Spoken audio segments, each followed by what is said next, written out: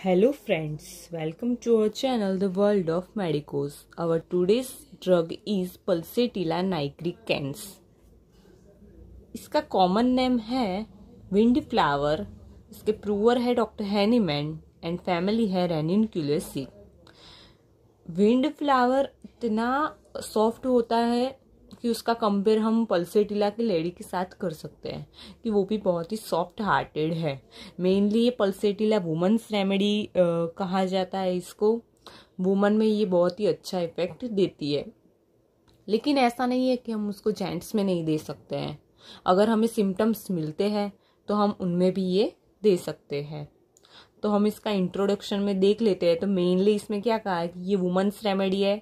Usually teenage girls में भी हमें देखने को मिलती है कि जिसमें हमें मेंटल और यूटेराइन सिम्टम्स देखने को मिलेंगे। देन ये थर्स्टलेसनेस है, विथ ड्राई टंग। इसका डिस्चार्ज कैसा रहेगा? Thick green yellow. And menses इसके इरेगुलर, पेनफुल हो गए, सप्रेस हो गए, डिलेड हो गए, स्कैंटी होंगे। देन नेक्स्ट इसका ल्यूकोरिया हमें एक्रिड और बर्निंग और क्रीमी देखने को मिलेगा। In labour pain wants door and windows open उसको खुले वातावरण में ही अच्छा लगता है। उसको बंद कमरे में अच्छा नहीं लगता है। इसलिए वो क्या करेगा कि विंडो और डोर को ओपन कर देगा patient can not lie on a back for desire for urine sharpen इसके ये सब क्लिनिकल्स दिए हुए हैं हमें। ये बहुत सारे में यूज़फुल है एक्ने एबोशन एनेमिया वगैरह, ये सब मीजल्स है वेरिकोज वेन्स है। फिर उसका sphere of action sphere of action mainly ये mucous membrane of a tongue stomach bowel female genital organs में इफ़ेक्ट करता है। देन पैथोजिनेसिस में भी क्या दिया है कि having a thick bland green yellowish discharge discharge इसका कैसा है? देन उसका कॉन्स्टिट्यूशन देखते हैं हम।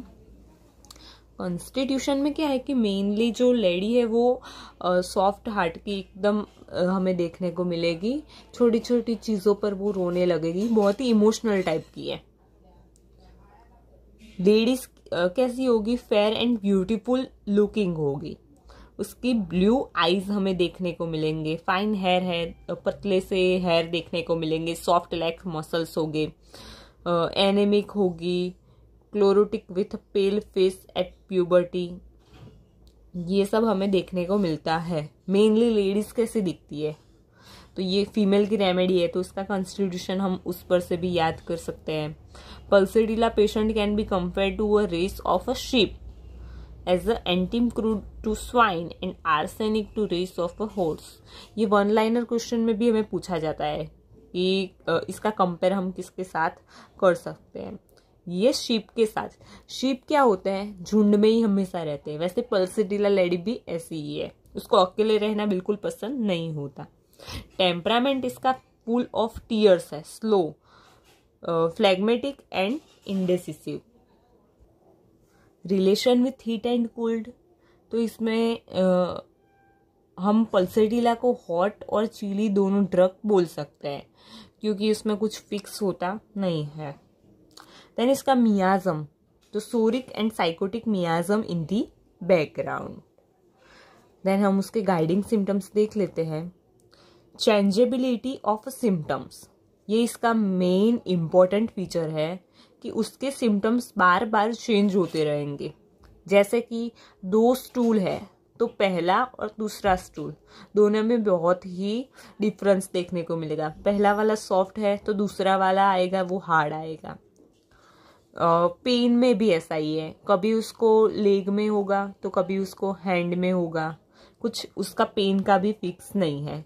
चील का भी वैसा ही है। थोड़ी देर में उसको जितनी ठंडी लग रही थी थो, थोड़ी देर के बाद उतनी ठंड उसको नहीं भी लगती है। तो ऐसा ही है कि सिम्टम्स उसके बार बार चेंज होते रहते हैं। देन और वैसे ही मेंटल कंडीशन भी चेंज होती रहती है rapidly then weeping disposition patient में बहुत ही ज़्यादा विपिंग डिस्पोजिशन देखने को मिलेगा। वो छोटी छोटी बातों पर इजीली रोने लगेगा। It is almost impossible to detail her elements without weeping patient अपने कंप्लेन बताते वक्त एक बार तो रोता ही है। ऐसा भी कहा गया है कि जो पल्सेडीला का पेशेंट होता है, उसको हम कैसे पहचान सकते हैं? तो वो जब भी अपनी कंप्लेंट्स बताता है तो एक बार वो रोता ही है। लेकिन ऐसा नहीं है कि हर बार वो पल्सेटिला ही हो। उसके बाकी सिम्टम्स भी हमें देखने पड़ते हैं, उसका भी इम्पोर्टेंस देने का। Then chilliness the patient has a constant chilliness but aversion to cover patient इसमें क्या होगा? पेशेंट को ठंड तो लग रही है, लेकिन वो अपनी बॉडी को कवर बिल्कुल भी नहीं करेगा, क्योंकि उसको कवर करना बिल्कुल भी पसंद नहीं है। उसको ओपन एयर ही पसंद है। और अगर वो कवर करता है तो उसको अनकंफर्टेबल या फिर सफोकेटेड फील होगा। इसलिए पेशेंट कवरिंग कभी भी करता नहीं है। क्लोज्ड स्टफी हीटेड रूम में उसको सफोकेशन फील होता है। देन पेन में क्या क्या इंपॉर्टेंस है उसके कैरेक्टरिस्टिक तो pain comes gradually and disappear suddenly और pain appear suddenly and goes gradually अचानक से पेन आएगा और धीरे धीरे से जाएगा, या फिर धीरे धीरे से आएगा और अचानक से पेन चला जाएगा। Then pains are accompanied by chilliness greater the pain more severe in the chill then shifting character का पेन होगा। कभी वन जॉइंट में होगा, थोड़ी देर में देखेंगे तो अनोदर जॉइंट में हो जाएगा अनोदर पार्ट में भी उसको पेन होने लगेगा। और उसको पेन प्रेशर से उसको रिलीव मिलेगा, आराम मिलेगा lying on affected side and by cold application और एग्रेवेशन पेशेंट को किससे होगा? कि वो पेनफुल साइड पर सोएगा तो होगा, या फिर कोई हॉट एप्लीकेशन हो जाएगी तो होगा। Then thirstlessness There is a thirstlessness with nearly all complaints with a dry, white, coated tongue. Dry white coated tongue ये इसका मेन फीचर है। और पेशेंट को जब प्यास लगती है तो वो पानी पीने जाता है तो क्या होगा? उसको वॉमिटिंग जैसा होने लगेगा। एंड उसमें उसके माउथ में बैड टेस्ट होने लगेगा special in the morning morning में पेशेंट को ये कंप्लेंट्स ज़्यादा होती है। Then derangement derangement specially puberty में ये हमें डिरेंजमेंट की कंप्लेन देखने को मिलती है। Never been well since that time उसको क्या होगा? पेशेंट अगर आएगा तो वो हमें हिस्ट्री देगा कि उसको जब भी उसका प्यूबर्टी का टाइम था, तब से उसको डिरेंजमेंट की प्रॉब्लम्स हो रही है। मैंसिस उसके क्या होंगे? बहुत ही लेट होंगे स्कैंटी होंगे और सप्रेस्ड होंगे। डिज़ायर पेशेंट को खुली हवा पसंद है क्योंकि उसको बंद कमरे में सफोकेशन होता है। फैटी फ़ूड पेशेंट बहुत ही खाता है। Disagree meat bread milk and smoking sensation all gone sensation in a stomach special in a tea drinker tea drinker में हमें ये ज़्यादा देखने को मिलता है। और स्लीप में उसको क्या होगा कि पेशेंट को आ, ऐसे ड्रीम्स बहुत ही डरावने आने लगेंगे। ये मेन स्लीप में हमें देखने को मिलेगा। और उसकी वजह से पेशेंट बराबर से सो नहीं पाएगा। और सो नहीं पाएगा तो फिर उसको सुबह में उठने में भी लेट हो जाएगा। डायरिया उसको यूजुअली नाइट में ज़्यादा होता है। There is aggravation from a warm warm से पेशेंट को एग्रेवेशन है। नमल in a cold and open air से। Pulsatilla is one of the best remedy with which to begin the treatment of a chronic case. Then उसके mental symptoms उसमें क्या है? Mainly patient mild है gentle है amiable in character है yielding disposition but sometimes timid to yielding disposition का मतलब क्या होता है? कि पेशेंट को दूसरों के डिसीज़न से ज़्यादा अफेक्ट होता है। और टिमिड टिमिड मतलब कि पेशेंट शर्मिला है। Then changeability of a mental condition हमने आगे भी देखा था कि पेशेंट को चेंजेबिलिटी देखने को मिलती है। वैसे मेंटल्स में भी हमें ये देखने को मिलता है।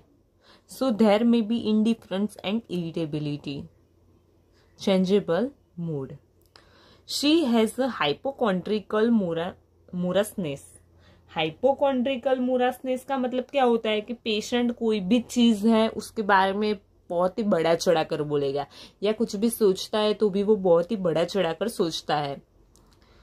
Takes bad side of everything with discussed the patient patient हमेशा नेगेटिव थिंकिंग करेगा।